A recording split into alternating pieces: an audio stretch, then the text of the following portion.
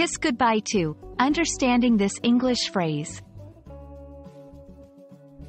Hello, everyone. Welcome back to our channel.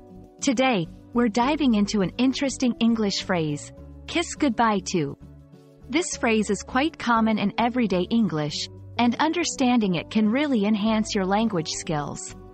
So, let's get started and explore what this phrase means and how you can use it in your conversations.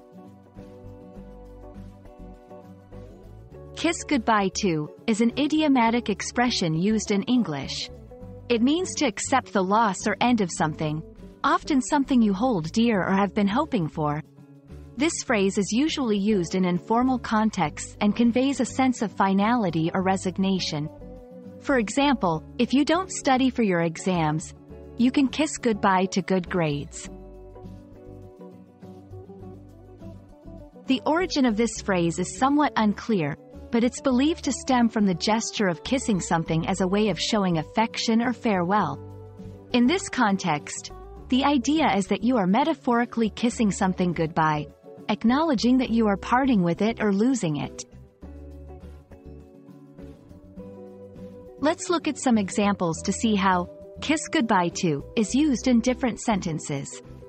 1. After the new regulations, we can kiss goodbye to free internet access. 2. If the team loses this match, they can kiss goodbye to their championship dreams. 3. I guess I have to kiss goodbye to my old car. It's beyond repair now. These examples show how the phrase can be applied in various situations, from casual to more serious contexts. There are several synonyms and variations of this phrase. Some of them include say farewell to, wave goodbye to, bid adieu to. While these phrases have similar meanings, kiss goodbye to often implies a more emotional or significant loss. To remember this phrase, think of a situation where you had to let go of something important.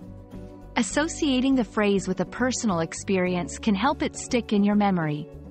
Additionally, try using it in your daily conversations or writing to become more comfortable with its usage. And that's a wrap on the phrase, kiss goodbye to. We hope this video helps you understand and use this expression confidently in your English conversations. Remember, language learning is a journey, so keep practicing and exploring. If you found this video helpful, don't forget to like, share, and subscribe for more language tips. Happy learning!